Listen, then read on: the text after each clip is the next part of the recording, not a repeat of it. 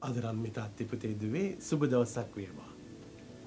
ජීවිතයකුයි දවසයි සුබ වෙන්න නම් ඔබව මාව සුබවාදීව ජීවත් කරවන්න පුළුවන් කෙනෙක් ඔබට මට හම් වෙන්නට ඕනේ.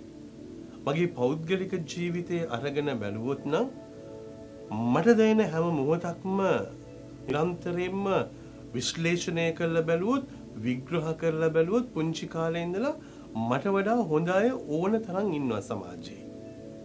ඉස්කෝලේ යන කාලේ හිටියා අදත් ඉන්නවා. එතකොට මේ ඒ හොඳ පිරිසක් ඉන්නවා. එතකොට මේ හොඳ පිරිසක් ඉන්නකොට ස්වාමින් වහන්සේ දුර්වල චරිතයක් තෝරගෙන තියෙනවා. එතන මේ දුර්වල චරිතය තෝරගද්දී ස්වාමින් වහන්සේ තුල මා දැක්ක දේ තමයි ස්වාමින් වහන්සේ මා තුලට වැඩම කරන්නේ මගේ ජීවිතයට ආදරය කරලා සමාව දෙන්න. ඔබේ ජීවිතෙත් හිතලා බලන්න. ඔබේ ජීවිතේ හොඳකම නිසාද ඔබ මේ ජීවත් වෙන්නේ? ශක්ති ප්‍රමාණය නිසාද ඔබ දැන් ජීවත් වෙන්නේ? ඔබ ළඟ තියෙන බලය නිසාද ජීවත් වෙන්නේ ඔබේ ආර්ථිකය නිසාද ජීවත් වෙන්නේ ඔබේ හැඩතල නිසාද ජීවත් වෙන්නේ ඔබේ වර්ණය නිසාද ජීවත් වෙන්නේ නැහැ ඔබට වඩා වර්ණවත් ඔබට වඩා යහපත් ඔබට වඩා ගුණවත් ඔබට වඩා කඩවසම් ඔබට වඩා පොහොසත් ඕන තරම් පිරිසක් ඉන්න පුළුවන් එහෙනම් මේ ඔබට මට මේ ජීවමාන හුස්ම දීලා තියෙන්නේ ක්‍රිස්තුස් වහන්සේ. ඒතර ක්‍රිස්තුස් වහන්සේ ජීවමාන හුස්ම දුන්නේ ඇයිද කියලා ඇහුවොත් කාර්ය ඔබේ මගේ පාපයට සමාව දෙන්න. ඒක තමයි good news එක. ඒ නිසා තමයි ස්වාමීන් වහන්සේ ඉල්ලනවා ඔබ සකල ලෝකයා වෙතට ගිහිල්ලා මගේ මේ සුභාරංචිය දේශනා කරන්න. එතකොට මේ සුභාරංචිය මොකද්ද කියලා ඇහුවොත් කාරිය අපිට ඉන්නවා තාත්තා කෙනෙක් සමාව දෙන්න බලාගෙන ඉන්න. ඒ නිසායි නාස්තිකාර පුත්‍රයාගේ උපමාව කියලා කියන්නේ තාත්තා ඔබ එනකම් බලාගෙන ඉන්නවා අත් දෙක විහිදුවගෙන තුරුළු කරගෙන ඔබට නැතිවිච්ච දේවල් ඔබට තිබුණට වඩා දෙන්න. ඒකයි වෙනස. පත්‍ර නම් මේ තාත්ති පුතේ දුවේ. එහෙනම් ඔබ දුබල වෙනකොට බය වෙන්න එපා. ඔබ කලකිරෙනකොට බය වෙන්න එපා. ඔබ පව් කරපු මොහොතේදී බය වෙන්න එපා.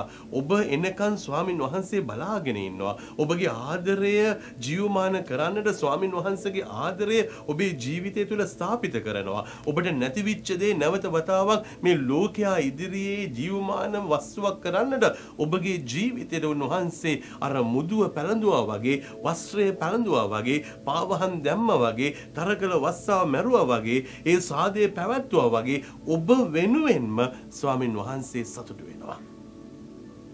අපිට සමාහට හිතෙනවා මගේ ජීවිතයේ ස්වාමින් වහන්සේට වටිනවද කියලා. ඔබේ ජීවිතය ගොඩක් වටිනව රත්තරනම් මේ තාත්තිපුතේ දුවේ. ඒ නිසා ඔබගේ තිබෙන්නා වූ අඩුපාඩුකම් ගැන ඔබේ ජීවිතයේ උලුප්ප උලුප්ප ගන්න එපා. ස්වාමින් වහන්සේ ගොඩක් ආදරේ. උන්වහන්සේ ඔබ මවන්නට තිස්සර දන්නවා.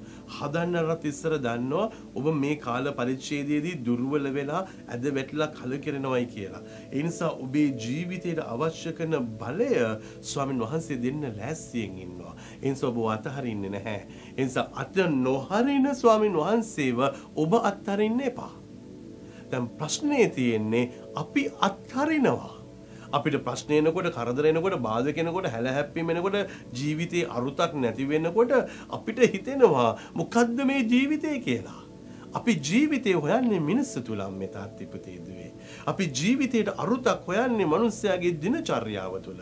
අපි මනුස්ස ජීවිතය තුළ තිබෙන්නා වූ හැසිරීම් රටාව තුළ තමයි මගේ ජීවිතයට අරුතක් හොයන්නේ. එතකොටයි අපිට වැරදෙන්න පුළුවන් වෙන්නේ.